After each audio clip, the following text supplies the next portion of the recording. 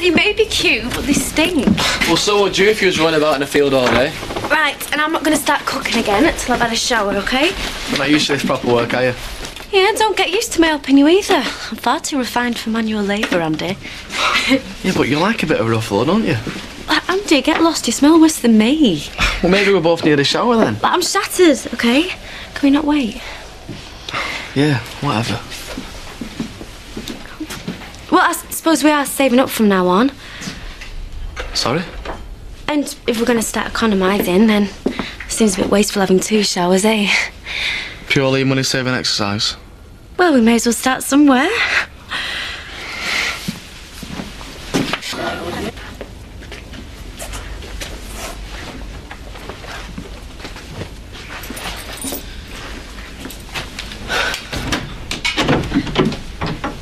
Hiya. Uh, we were wondering where you were. I thought you'd gone out. You alright? We thought we'd get back to stuffing in, didn't we? While you're here, Rob, sit the kettle on while we get Jess there. Come on.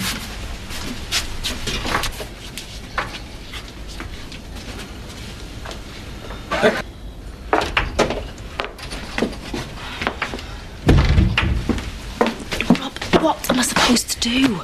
Apologise for going to bed with my own husband.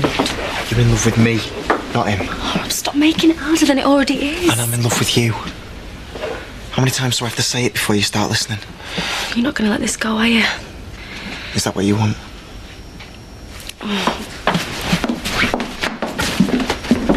Is that what you want? This is what you want. Rob, it's only getting changed. Well, I'll take what I can get.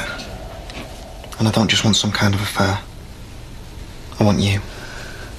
From now on, all the time. Ooh, something smells good. I mean it. Just in time, Donna. Says I've Rob playing gooseberry all night. Oh,